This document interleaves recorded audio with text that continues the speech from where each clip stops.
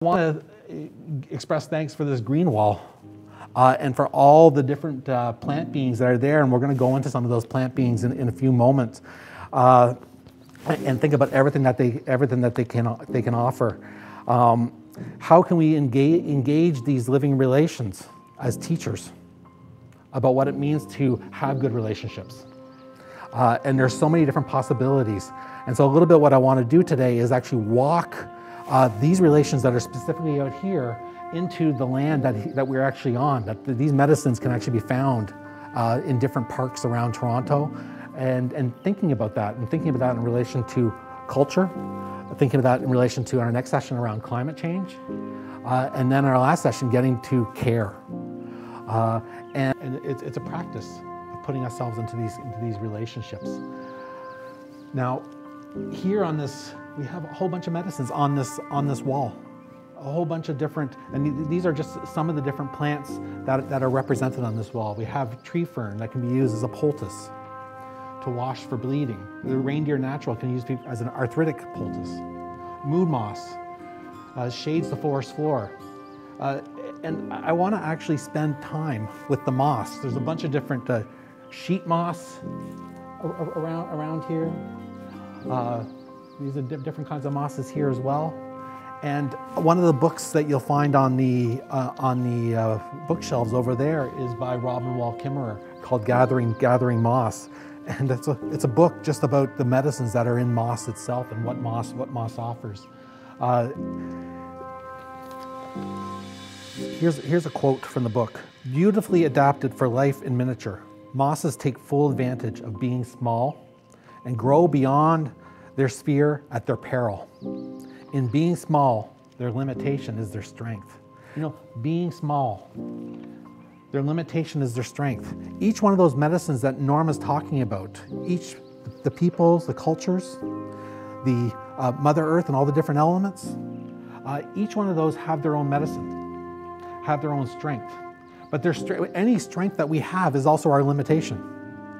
And so recognizing this, so one of the core things that Norma will, will, will, reiterate over and over and over again when she's doing the teaching is that it's about complementarity.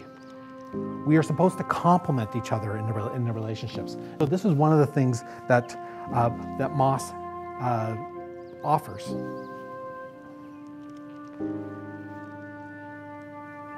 When I was thinking about this green wall, I was thinking about it in relation to, uh, I don't know if anybody here knows uh, C.S. Lewis, uh, The Lion, the Witch, and the Wardrobe kind of thing. I was like, oh, I want to go into this wall and just kind of open up into a world.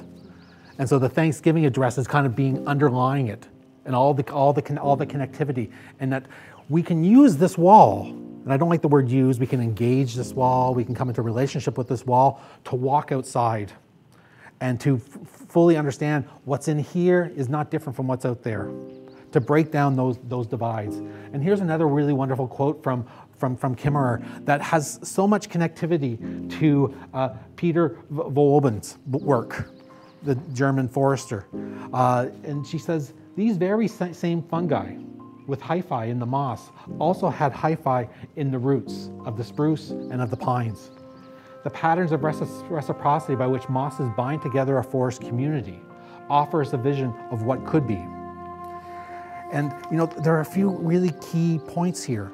So the moss is helping the fungi and helping build the interconnectivity of communication in the forest floor of all the roots of all the different trees in, in, that, in, that, in that system. And so in that, that's another medicine that they have. They help communication. And so thinking about these mosses as like helping our communication and, and how we're actually going to communicate across different species, across different cultures. This is from uh, a couple weeks ago when we did when we talked about culture, and you know the three sessions are really very much intertwined. Uh, and I wanted to start off today. It's intertwined by this screen wall. The, the, the whole session, the whole sessions are, are inspired by it. So. Uh, a couple a couple weeks ago again, I was making all these connections to all these different plants, and th these these white uh, words here. These are all the different kinds of plants that are on this on this wall right now. And I'm not going to go into. Each of them has their own medicine, has their own gift.